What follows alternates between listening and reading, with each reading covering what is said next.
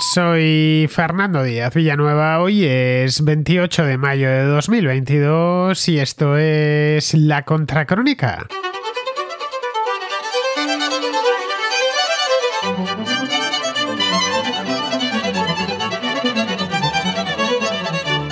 Bienvenidos al Contraplano. Ya sabéis, el programa de cine dentro de la Contracrónica que hacemos dos veces al mes. Esta semana nos toca Contraplano y tengo algunas películas bastante buenas. Os aviso ya que me voy a enrollar con alguna de ellas, o por lo menos con un par de ellas, porque son dos películas que me gustan mucho.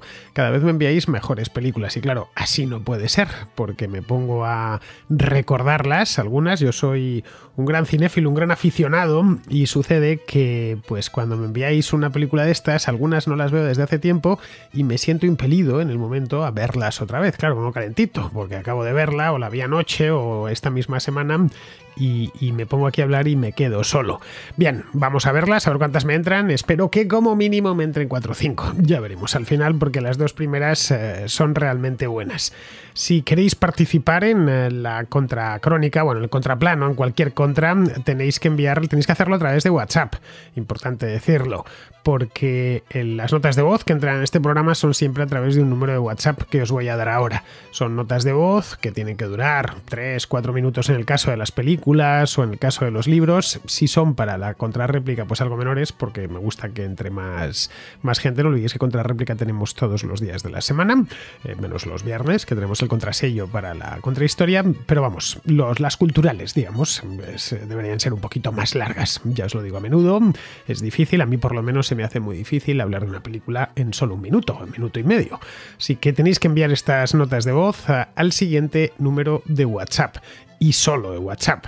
Es el 690-827909 más 34 adelante, que es el código internacional de España. Cuesta lo mismo, no hay problemas. Lo mismo da mandar un mensaje de WhatsApp o una nota de voz a Estados Unidos que a Canadá, que a la India, que a Chile. Es la ventaja, una de las grandes ventajas de WhatsApp, que se acabaron las conferencias internacionales con esto, tanto para las llamadas como por supuesto para los mensajes y las notas de voz.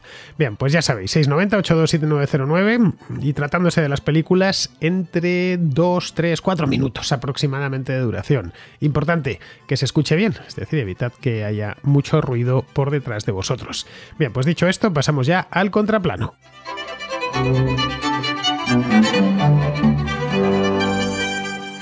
Empezamos eh, la contrarréplica de hoy, mejor dicho, el contraplano de hoy con Francisco, para que veáis que se me acumulan las contras al final. Un contraescucha que se llama Francisco que nos trae dos películas, eh, os aviso ya, os lo anticipo, son las dos buenísimas. Una es española y la otra alemana. Bueno, vamos a empezar primero, creo que recomienda primero la, la alemana, he escuchado la nota de voz antes. Pues eso, una alemana primero y otra española, son películas de hace ya un tiempo, casi casi contemporáneas, porque una es de 1981 y la otra de 1979, de hace unos 40 años aproximadamente, y los dos, en ambos casos, son pues sendos, eh, sendos peliculones. Pero vamos a escuchar a Francisco. Eh, quería dejar un par de aportaciones, eh, a ver si os gustan. Vale, son dos películas que ya tienen bastantes años, pero que considero que son, son películas que no van a pasar de moda nunca. Eh, una de ellas es de cine bélico. Eh, como, todos, como tú bien sabes, el cine bélico eh, de directores alemanes generalmente es, es, bastante realista en cuanto a los hechos y en cuanto a las situaciones también. Y bueno, pues ahí tienes, por ejemplo, pues yo que sé, la película Stalingrado, El Puente. En fin, se centran más en la tragedia de lo, de lo que es la guerra y de que de, dejar al enemigo como malo o que haya buenos y malos. Y eso eh, me gusta en una película. Vale esta película es una película eh, como ya te he dicho que tiene muchos años pero que para mí no se ha hecho otra igual como sobre este tema vale eh, la película es Das Boot vale esa película eh, para mí refleja como ninguna lo que era la vida dentro de un submarino tipo 7, eh, los miedos, los agobios, la claustrofobia, el ambiente. No ha habido, creo, otra. Eh, se basa en una misión que además fue, fue real de un submarino que parte de La Rochelle y bueno pues eh, hacer lo que lo que hacían los submarinos de aquella eh, vigilar patrullar atacar etcétera etcétera. Se refleja también lo de las manadas de lobos y esas cosas. Es una película que a mí me encanta y que yo creo que hoy por hoy no tiene rival. De hecho eh, recientemente han hecho series que están un poco basadas en aquello la otra película que también para mí es un referente y es una película que tengo casi de culto, es una película de nuestro actor eh, Alfredo Landa, que Dios tenga en su gloria, y, es una película que incluso a él en una entrevista la, definió como que era la película que, mejor, que más le gustaba de las que había hecho. Esta película no muy conocida, a todo el mundo al que se la recomiendo se sorprende y me da las gracias porque, porque le suele gustar. Y eh, más el trasfondo y los mensajes que lleva y los monólogos que tiene tan profundos eh, Alfredo, eh, la pareja, la química que hay con, con María Casanova, que es su pareja también en el crack, y se llama Las Verdes Praderas. Es todo una disertación sobre lo que es la vida, lo que es el consumismo, lo que es cómo nos conducen, cómo nos llevan. Y estamos hablando de una película que es, mm, tiene muchísimos años, pero que tiene un mensaje tan actual que es que eh, se puede ver a cualquier época. No sé si la has visto, si estás de acuerdo conmigo. Eh, si la has visto, seguro que lo tienes que estar de acuerdo conmigo porque no hay otra manera de verlo. Y, y nada más, ahí están mis aportaciones, espero que, espero que sean beneficiosas para alguien. Tengo muchas más, pero claro, no voy a estar aquí diciendo una lista. Eh, ya dos me parece igual pasarme. En fin, que muchas gracias, enhorabuena por el programa. Te había perdido, te seguía en 4G y, y ahora te he vuelto a encontrar. No sé cómo hacer para, no sé si solamente se te puede conseguir a través de YouTube o si hay otras maneras, porque yo soy un poco analfabeto de estas tecnologías, soy una persona ya mayor, eh, pero vamos, si me lo puedes decir, eh, si es que hay, pues te lo agradezco. Eh, que tenga buenas tardes y muchas gracias a todos. Hasta luego. Pues mira, Francisco, este programa se puede escuchar a través de iVoox o de YouTube, solo a través de esos dos canales, nada más. En el pasado, hace ya muchos años, se podía escuchar a través de Apple Podcast, de TuneIn y de unos cuantos más, y al final decidí reducir la emisión del programa a través de estos dos eh, de estas dos plataformas. Con Evox eh, suscribí un contrato de exclusividad, como por lo demás está sucediendo ahora mismo con todos los eh, programas de radio online. Cada uno escoge su plataforma y lo explotas mucho mejor. Evox me aporta una serie de ventajas, como por ejemplo un programa de fans que tiene que está muy bien, me facilita ciertos anunciantes y comparte conmigo parte de los ingresos, que no es mucho la verdad, pero bueno, mejor que nada nada. Ten en cuenta que Apple Podcast lo que quiere es que le regales tu podcast y no te da absolutamente nada a cambio, ni siquiera visibilidad. En el caso de YouTube, pues porque hay que estar en YouTube, no es mucho más. YouTube es eh, la televisión de nuestra época y también en buena medida la radio de nuestra época. Vamos, son dos plataformas gratuitas. Puedes instalarte la aplicación de YouTube o la de iVoox, eh, que ha ido mejorando con el tiempo, y escucharlo todos los días a través de cualquiera de estas dos. Pero bueno, vamos con el cine, que es lo que nos ha citado hoy aquí. Nos traes Francisco dos películas, dos películas de primera, que justifican cada una de ellas, pues casi casi diría un, un contraplano por sí mismas. Es decir, podría hacer un contraplano de Dasbot y hacer otro contraplano exclusivamente de esta española que nos traes de José Luis García, la de las verdes praderas. A ver, son eh, dos películas extraordinarias, a mí me gustan mucho, las conozco muy bien, las he visto muchas veces, no sé cuántas, pero por un montón de ellas, os lo puedo asegurar desde hace además muchísimos años. Bien, vayamos por partes porque aquí hay mucha tela que cortar. Dasbot, que es eh, como se dice submarino en alemán, y creo que en español se la conoce también así, Dasbot, por lo que recuerdo. Creo que sí, no sé si lo tradujeron. Yo siempre la he conocido como Dasbot, desde luego. Tampoco es una palabra para una palabra alemana que se puede pronunciar sin demasiados problemas, pues aprovechémosla, ¿no? Bien, esta es una película de Alemania, de la República Federal de Alemania, del año 1981, hace ya más de 40 años, dirigida por Wolfgang Petersen, que es un director alemán, que sigue vivo, por cierto, y que en aquel entonces pues estaba empezando, que tendría, no sé si habría cumplido ya los 40 años por aquella época. Das Bot es de hecho, no sé si su segunda o su tercera película. Empezó a hacer cine en los años 70. Era un director joven de estos de la nueva hornada. con los años luego Petersen se convertiría en un director importantísimo en Hollywood, un director de blockbusters, básicamente. Títulos como La historia interminable, por ejemplo, que también es de los 80, es cuando ya dio su salto. Air Force One, La tormenta perfecta del año 2000, también es de Petersen. Todas estas ya las hizo en inglés. Das Boot no, Das Boot es de su etapa alemana, aunque creo que la última de Petersen está vuelto de nuevo a hacer cine en alemán. Bien, esta está en alemán y está basada en una novela, una novela de los años 70, escrito por, escrita esta novela por un antiguo tripulante de un submarino de guerra alemán uno que había sobrevivido a aquello y decidió escribir una novela. La novela al parecer funcionó muy bien en Alemania en los años 70 y pensaron que lo mejor, con, gran criterio por cierto, era llevárselo al cine. Fue esta, esta película, Das Boot, un éxito desde el principio.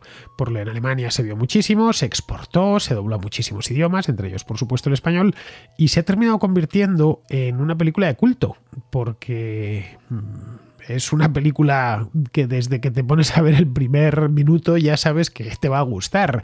No es, no es, eh, no es anormal, vamos, que se haya convertido en un, título fundamental. Desde luego, eh, de culto es en lo que se conoce como películas de submarinos, que sería algo así como un subgénero dentro del género del cine bélico. A mi juicio, es la mejor que ha dado este subgénero, es la mejor película de submarinos que se ha hecho nunca. Bien, casi toda la película, como reza el título, transcurre en el interior de un submarino, de un bot, de un submarino alemán de la Segunda Guerra Mundial, el U-96 exactamente. En la Segunda Guerra Mundial, aunque claro, ves la película y dices, bueno, debía ser el peor, el peor lugar donde hacer la guerra, un submarino, porque eran lugares angustiosos. Pero no, no, no, era, era lo más prestigioso que había. Eh, ser tripulante en la flota de submarinos de la Kriegsmarine se consideraba poco menos que para los jóvenes de aquella época un destino privilegiado. Era de hecho el sueño de casi todos los jóvenes con voluntad de luchar, pues tener ese privilegio de servir al Reich a bordo de uno de los submarinos tan modernos que había ido la Kriegsmarine, que los tenía por centenares, por cierto. Bueno, solo de la clase 7, este el 196 era un 7C, pero vamos, solo de la clase 7, que es el perfil es inconfundible, son los clásicos submarinos alemanes de la Segunda Guerra Mundial, eh, por cierto, unos buques bien bonitos, todo hay que decirlo, se construyeron más de 700 durante la guerra, para que nos hagamos una idea de la cantidad de submarinos que llevó a votar la Kriegsmarine. Bien, la realidad era que, esto es lo que pensaban los que iban a la guerra, la realidad era que estar en un submarino constituía una experiencia angustiosa, agotadora, eh, dejaba exhaustos a los marineros. Había muy poco espacio, mucho menos que los submarinos actuales, el aire estaba viciado continuamente y la mortalidad de los submarinistas era altísima, mucho más de lo que, de lo, de lo que temorían los eh, marineros en los buques de superficie, especialmente desde que los aliados descifraron la máquina Enigma, que era la que utilizaban, el alto mando alemán, para enviar órdenes a los cazadores, es decir, a los submarinos que estaban en el Atlántico, empezaron a cazarlos, los, eh, los barcos de la flota británica y de la, y de la de Estados Unidos, y empezaron a caer como chinches. A partir de ahí, la mortalidad en la flota de, de U-bote se, se, disparó. Bien, la mayor parte de la película tiene, como, como os decía, tiene lugar en, dentro de un submarino del 1.96, lo que crea una situación muy angustiosa desde el principio. O angustiosa, pero tampoco es que tengas que dejar de verla, al contrario, pero sí es capaz Petersen de meterte por completo dentro del submarino. Sigue un grupo de personajes que se van transformando desde que entran en un submarino hasta que salen, es decir, de soldados, tipos muy decididos, unos jóvenes con muchas ganas de combatir y de hacer la guerra, llenos de ilusión, bien peinados, afeitados, uniformados perfectamente, suelen embarcar. Luego los eh, vas viendo cómo se van transformando en tipos desaliñados, agotados, desanimados, en fin. La, la historia está contada a través de los ojos de no de un no de un soldado sino de un corresponsal de guerra corresponsal de guerra que está a bordo del submarino y que va contando su experiencia presenta a la tripulación como un grupo de, de soldados muy competentes todos unidos por lazos muy fuertes casi casi familiares, dispuestos a dar la vida el uno por el otro.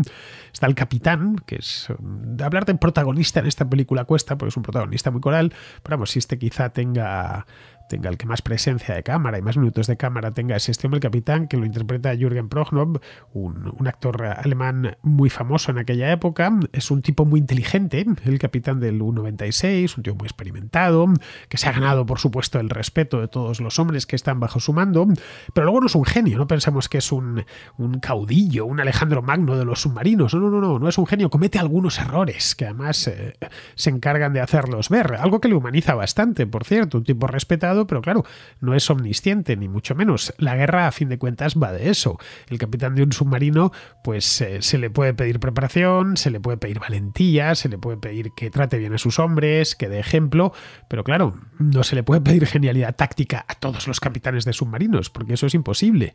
Bien, uno de los problemas que se encontró Petersen era que en un submarino de la clase 7 estaba tripulado por mucha gente. Entraban unos 50 más o menos. Y todo en un espacio reducidísimo. Bueno, os invito a ver la película si no la habéis visto. Y uno se plantea cómo se podían pasar meses en aquel pasillo. Porque es que un submarino era esencialmente un pasillo. Un pasillo rodeado de metal por todas partes. Era fácil además darse con la cabeza. Eh, caray, por más que se centrase en los protagonistas principales, que pues el capitán, el corresponsal de guerra, que es el que cuenta la historia, el jefe de máquinas, etcétera, bueno, pues no estaban solo ellos, pues el submarino tenía que pulular muchísima gente y había que desarrollar muchos más personajes, cosa que Petersen, por cierto, hizo bastante bien. Por la pantalla desfilan un montón de caras y de, historias y el espectador pues se va familiarizando con todas ellas.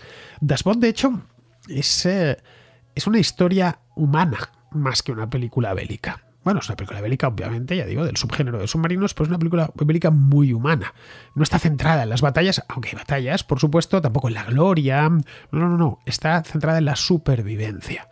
La política está ahí, obviamente, estamos hablando de la Segunda Guerra Mundial. Es una película hecha en el 81, cuando quedaban muchísimos supervivientes de la Segunda Guerra Mundial y la propia guerra y el nazismo quedaban mucho más cerca, estaban a solo menos de 40 años vista, mientras que, claro, ahora los tenemos ya a 80 años vista. Pero da igual, aquí lo que Petersen se esfuerza es eh, en hacer que la historia humana prime sobre todo lo demás. Pero vamos, eh, eso tiene una ventaja eh, evidente y es que ha permitido que la película se convierta en un, eh, en un clásico. Hace una aproximación a la guerra mucho más de nuestra época de la que podía haber todavía en aquel entonces.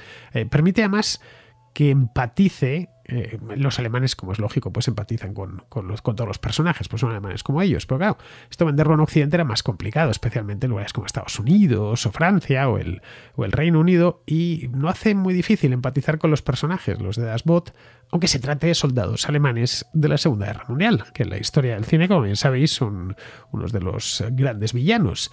Lo, lo, cierto es que viendo la película tampoco hay demasiado tiempo, ni ganas, por supuesto, de ponerse a filosofar dentro del submarino, quiero decir, sobre las causas de la guerra, o quién es bueno y quién es malo, si el nazismo es esto o es lo otro. El capitán no es nazi, eh, expresa de hecho en algún momento desdén por el Führer y por los nazis en general, en más de una ocasión, pero tampoco se profundiza demasiado en eso, no es una historia sobre esto. Bien, que sea una historia humana no le quita ni una pizca de acción, lo que os decía antes, que, que no es una película donde el submarino navega tranquilamente por las profundidades y es un diálogo tras otro, no, no, tiene algunas secuencias de acción bastante buenas.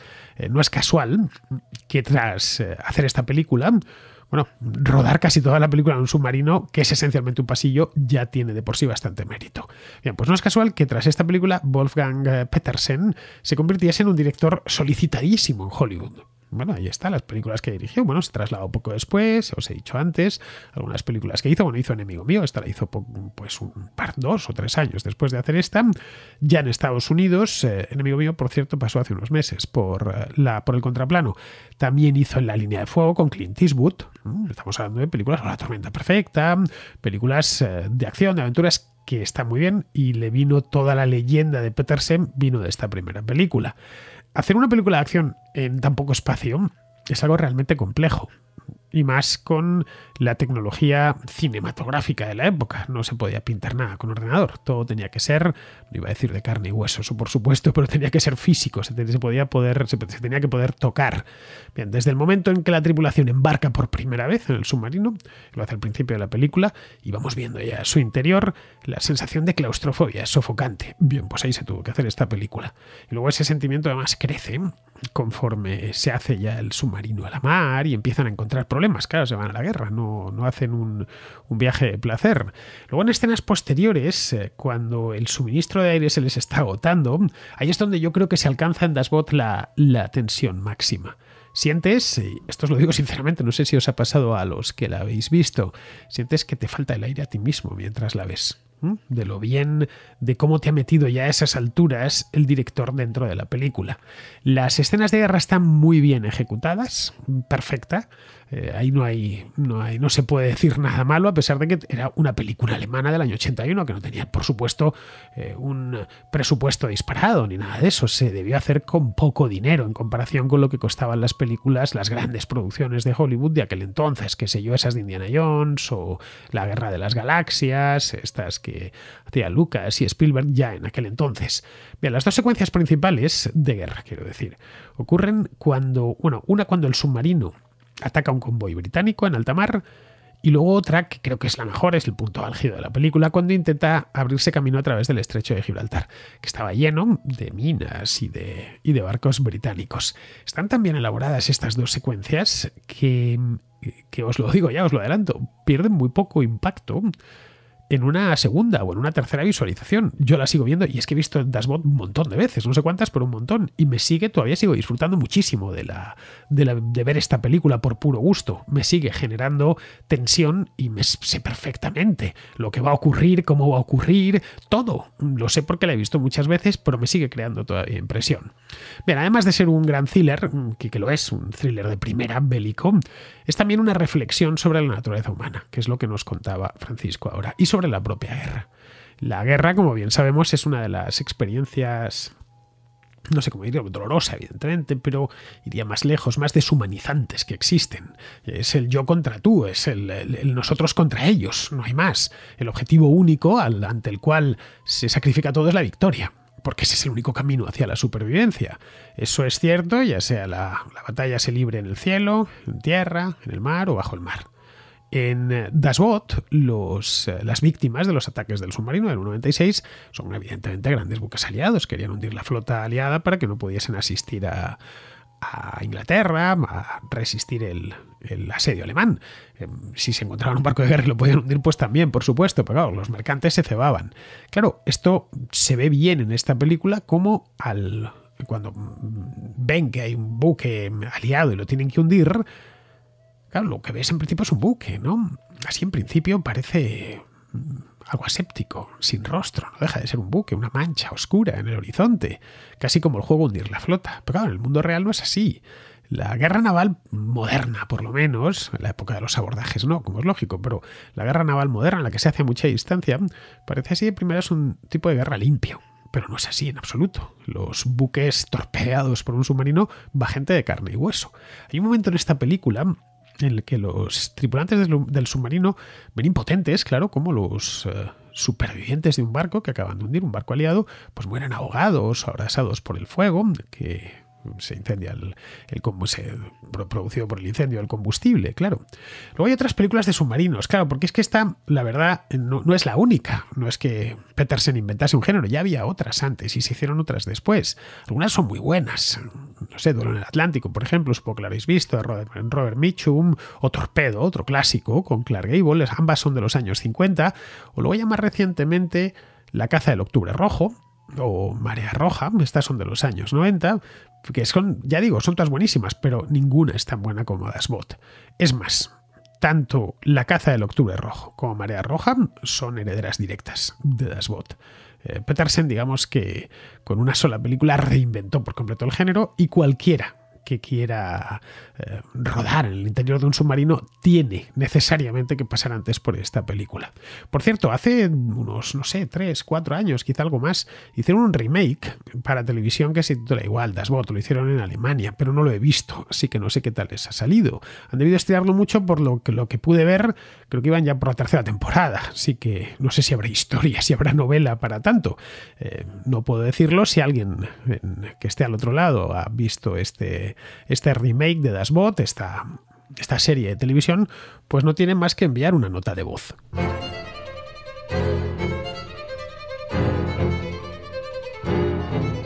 Ya os dije que me iba a enrollar con la película, con el submarino, porque, porque es que es buenísima. Si no la habéis visto, es de estas películas que hay que ver sí o sí.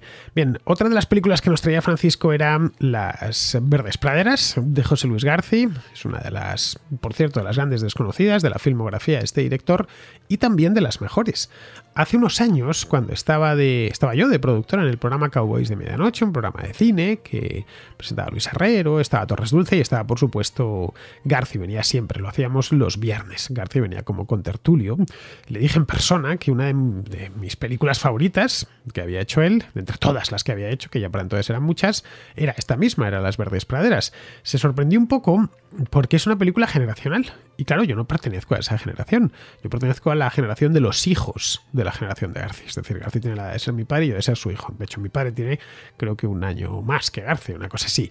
Eh, le llamó la atención que me llegase tanto siendo tan joven, vamos, no perteneciendo a eso, que ese mensaje me llegase así. La verdad es que no sé por qué, porque, a ver, mis padres nunca tuvieron un en la Sierra de Madrid, como los protagonistas de esta película, así que no es que me sienta directamente involucrado, identificado, pero la historia me llegó siendo un adolescente, que es cuando la vi por primera vez. La película es de 1979, yo no la vi entonces, era muy pequeño, pero eh, la debí ver pues con 14, 15 años, ya a finales de los años 80. Creo que la dieron por la tele, si mal no recuerdo. Mis padres la grabaron en vídeo y ya luego la vi dos o tres veces. Es una película llena de enseñanzas útiles, una película española de la transición. Podríamos meterla, más por mérito propio, en las películas del género transicionita. Pero vamos, eh, ya digo, está llena de enseñanzas útiles para la vida. Al menos para mí sí que lo fueron.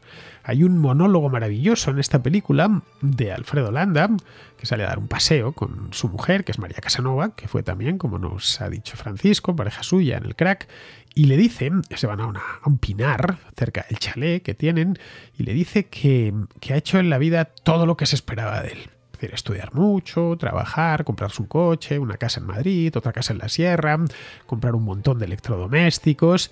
Bien, que ha hecho todo lo que se esperaba que hiciese, pero que realmente nunca ha hecho lo que quería hacer. Vamos, que se pasó la vida haciendo lo que le decían que tenía que hacer para llegar a lo que al final debía ser su vida la vida perfecta. Y claro, ya ha llegado, ya lo tiene todo. Ya tiene la familia, tiene el coche, tiene las dos casas, eh, un buen trabajo, etcétera y cuando ha llegado resulta que no le gusta. Lo dice además con esas mismas palabras. Ese monólogo de Landa vale su peso en oro. Y bueno, y así se lo hice saber a García hace unos años, que fue quien dirigió la película, sí, pero también quien eh, escribió el guion, creo que en colaboración con González Sinde. Bien, es una película esta de las verdes praderas que no ha envejecido en absoluto, os lo digo ya, por si pensáis, no, una película de 79, ¿quién se va a poner a ver ahora una película tan antigua? No, es imposible que nos diga nada, no, no, en absoluto. A pesar de que han pasado más de 40 años desde su estreno, sigue siendo perfectamente actual. A ver, el, protagonista Alfredo Landa tiene un SEAT 131, que hace muchos años que no se ve ninguno por Madrid ni por España, pero eh, sustituidlo, pues qué sé yo, por un SEAT Toledo o el que haya sido su sucesor que, que desconozco cuál será, por vehículos más modernos, teléfonos móviles y cosas que han aparecido en los últimos 40 años, pero en todo lo demás es perfectamente aplicable a nuestro tiempo. La búsqueda de la felicidad a través de compras de cosas que ni se desean de verdad ni se necesitan, bueno, eso y la ostentación posterior de las mismas, no ha ido a menos en los últimos 40 años, ha ido más. Hoy de hecho hay, mucho más disponible para mucho más producto disponible para y servicio disponible para vivir permanentemente endeudado y también permanentemente frustrado. Pero nada, generación tras generación van cayendo en lo mismo, ignorando que el camino más directo a la infelicidad es comprar cosas que no se necesitan con el dinero que no se tiene para impresionar a gente que no te importa, que es lo que le sucede al protagonista de las verdes praderas. Yo la verdad es que a título personal he tratado de evitarlo en la medida de lo posible y en fin, voy a llegar a los 50 razonablemente satisfecho conmigo mismo. Bien, vamos a continuar, vamos con una peliculita más ya sabía yo que con estos dos peliculones que nos ha traído Francisco no puede ser, ¿eh? ¿eh? los dos, por cierto, fundamentales, pues que con estos dos peliculones me iba a enrollar, pero claro, me traéis Dashbot y me traéis las verdes praderas y, me tengo que poner a hablar sobre ellas, que además no las tengo especialmente frescas, pero vamos, son bueno, siempre las tengo frescas, películas buenas, porque a lo más que ha podido pasar desde la última vez que la vi, pues a lo mejor son 5 o 6 años, vamos, siempre las tengo en la cabeza. Estas son dos películas, por cierto, que tengo en DVD desde hace muchos años, y los DVD si los compro es para poderme ver las películas varias veces. Bien, el primero lo tenéis en DVD, Das Bot, por supuesto. El segundo es algo más difícil de encontrar, esta, de, esta película de Garci. En general, como todo el cine de Garci, es complicado de encontrar en DVD, sinceramente os lo digo. Sale a lo mejor de vez en cuando una, una edición de alguna película, vas y si te pilla justo ahí, pues la compras. Tampoco es que se distribuya demasiado bien a través de las plataformas, otras veces lo colocan en las plataformas y te cobran por ello. Creo que lo de esta de las verdes praderas la tenía en Amazon Prime, no sé si seguirá, pero de alquiler. Tenías que pagar 3 o 4 euros por poder verla. Ojo, 3 eh, o 4 euros muy bien pagados. Pero claro, no la tienes. A lo mejor está en alquiler durante un año y luego desaparece de ahí. Ese es el gran drama de las plataformas. Cuando una película os guste, compradla que al menos podréis verla muchas veces y no dependeréis que la quiten o la pongan de Netflix. Bien, el DVD está disponible en Amazon, el de las verdes praderas, según veo aquí, lo tengo, pues lo tengo aquí delante, pero es de segunda mano. Bien, vamos ahora con otra película, que con Florentino exactamente, que nos trae pues otra gran película, otro clásico. Esta vez un clásico, pero que muy clásico, porque es una película de los años 30. Hola Fernando, buenas tardes. Y buenas tardes también a todos los contraescuchas eh, del programa. a ver, em, esto es un, Voy a poner una, película, ¿vale? Para el contraplano. Eh, y la película en cuestión es eh, Capitanes Intrépidos. ¿Vale? Es una película del año 37, basada en una novela de Rudyard Kipling eh, que me imagino que será de hace ya bastante más tiempo que de, que este 1937. Eh, la película fue dirigida por Víctor Fleming y, los actores es un elenco bastante bueno, bastante importante, entre en la cabeza Spencer Tracy y Freddy Bartolomeu. Que, que Freddy Bartolomeu, o Freddy Bartolomé, no sé si es en, español mejor, eh, es un yo creo que es el mejor actor eh, joven o adolescente o niño que haya visto yo nunca jamás en una, en una película o en una serie, vamos, en, pantalla. Em, la película es una historia de superación, eh, narra la historia de un niño malcriado, muy, muy, eh, muy caprichoso, vanidoso y que hace bastantes trastadas, pero como es un niño de un multimillonario, pues se lo perdonan todo y, y, vamos, eh, pues el chaval empieza en varias etapas de su vida y luego hace un viaje con su padre a Londres con la intención de compenetrar un poquito con él y tal, y cae a la borda, cae de la borda de un barco y va a dar a donde unos pesqueros, a donde unos marineros, ¿vale? Que estaban en plena faena eh, buscando los bancos, los grandes bancos de pesca en, las costas de Terranova, de Canadá, de Canadá y Estados Unidos, creo. Y bueno, eh, pues narra las peripecias eh, de, de, este chico o de este niño. Eh, es una historia de aventuras y de superación muy, muy emotiva y muy bonita. Yo siempre me acuerdo porque eran una de las películas que más le gustaba a mi padre y la verdad que, y la verdad que es un peliculón. Es un peliculón como la boca un pino. Y Spencer Tracy se llevó el Oscar a la mejor interpretación, con razón, pero vamos, también están Melvin Douglas, que hace de padre de, del chaval, Lionel Barrymore, eh, que es de una saga de actores, vamos, de toda la vida, y luego John Carradine, o John Carradine, ¿vale? Que también hace un buen papel como John el Largo. Eh, la verdad que merece mucho la pena para los que lo hayan visto y, y bueno, pues eso es. Un saludo, un saludo y gracias por el programa, Fernando. Un saludo. Capitanes Intrépidos es una película muy bonita, una película de Víctor Fleming. Víctor Fleming es uno de los eh, directores clásicos y de, Hollywood, es el director de Lo que el viento se llevó, vamos. Es también el director de Mago de Oz, es el director de Dr. Jekyll y Mr. Hyde, también con Spencer Tracy, por cierto, que está en esta película. Fleming era, era fotógrafo, bueno, de hecho fue, eh, Víctor Fleming fue el fotógrafo personal del presidente Wilson durante las semanas que Wilson estuvo en Europa para firmar el Tratado de Versalles. Él ya había ya trabajaba para el ejército en aquel entonces. El ejército de Estados Unidos se encargó en la Primera Guerra Mundial de llevar mucho fotógrafo, de llevar también eh, cinematógrafos para ir mm, rodando peliculitas que luego se pudiesen dar en los cines de Estados Unidos. Y como habían vendido tantos bonos de guerra, bueno, pues así al menos el que había comprado bonos de guerra veía en un cine en Denver o en, o en Chicago que las cosas estaban saliendo bien, ¿no? Pues uno de esos, uno de los fotógrafos que estaban allí era, era este hombre, era Victor Fleming.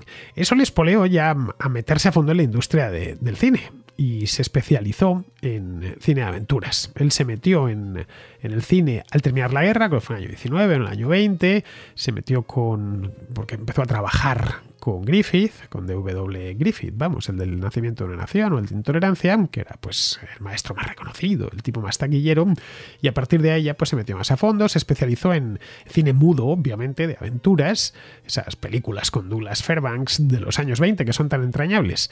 Luego cuando llegó el cine sonoro, a finales de la década de los 20, que barrió por completo al cine mudo en muy poco tiempo, Fleming lo que hizo fue reinventarse y se reinventó además con gran éxito haciendo lo que mejor sabía hacer, lo que mejor se le daba con diferencia, que era el cine de aventuras. Bien, pues esta película que nos trae Florentino es del año 1937, el Capitanes Intrépidos eh, se titula, y en su momento constituyó todo un éxito, tanto de crítica como de taquilla. Está basado en una novela de Rudyard Kipling y cuenta la historia de un niño rico de Nueva York que no quiere estudiar, que le hace la vida imposible a sus padres y, y nada, pues su padre al final decide llevárselo en un viaje de negocios a Europa, cuando los viajes de negocios se hacían en transatlánticos. Olvidemos que hasta hace no tanto tiempo, hasta los años 60-70 del siglo pasado, cuando se quería ir de América a Europa, pues era cuestión de días metido en un paquebote y no había más. Esto, esas imágenes que tenemos, ¿no? De actores mexicanos que venían a España y que tardaban en llegar hasta España semana y media o incluso más porque y desembarcaban en La Coruña o en Cádiz o, viceversa, el torero español que iba a hacer la temporada de América y claro, solo el salto del Atlántico le llevaba eso dos o tres semanas. Bien, pues pasaba lo mismo con los millonarios. Estamos hablando del año, los años 30 todavía, ¿eh? Eran barcos para, por para quien podía pagarlos, tenían camarotes muy lujosos, en fin, Titanic, en una palabra. Bien, pues eh, este hombre decide irse a hacer unos negocios a Europa, está atravesando, están cruzando el Atlántico y el niño se cae accidentalmente del barco. Se cae por accidente y le rescata un pequeño barco de pesca en el que está Spencer Tracy como pescador. Pero a partir de ahí, claro, el niño ya tiene que olvidar sus malas formas y ponerse a trabajar en el barco junto a los pescadores, que le enrolan como un tripulante más para el niño el barco de pesca pues termina siendo algo así como es como una escuela de la vida, ¿no? Y el que por descontado pues tiene que se vive algún vive algunas aventuras. En fin, te agradezco mucho Florentino que traigas estos clásicos porque se están empezando a olvidar. Esa es la verdad. Hoy preguntas a un chico de 10, 12 o 13 años por Capitanes Intrépidos y no te sabría dar cuenta, cosa que yo por supuesto a los 9 años sabía, conocía perfectamente esta película.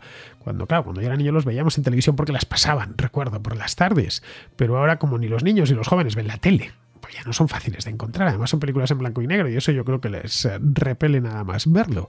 Pero, pero bueno, es bueno hablar de ellos para que los más jóvenes sepan de su existencia, de películas como esta. Quizá, no lo sé, alguno sienta la curiosidad, la busque por ahí y la vea. Bien, pues aquí, queridos amigos, ya terminamos el contraplano de hoy. Al final me han entrado solo tres películas, querían que fuese cuatro o cinco, pero en fin, si son tan buenas lo que me traéis, pues no podía ser de otra manera.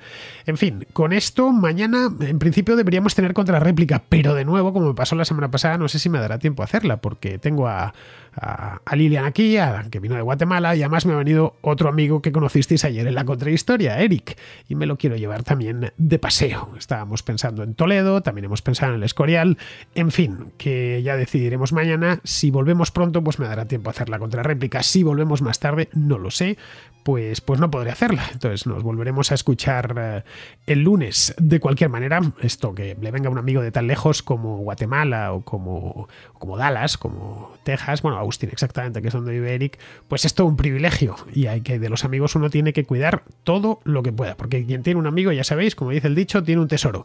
En fin, queridos, pues eh, nos volvemos a escuchar o mañana o el lunes.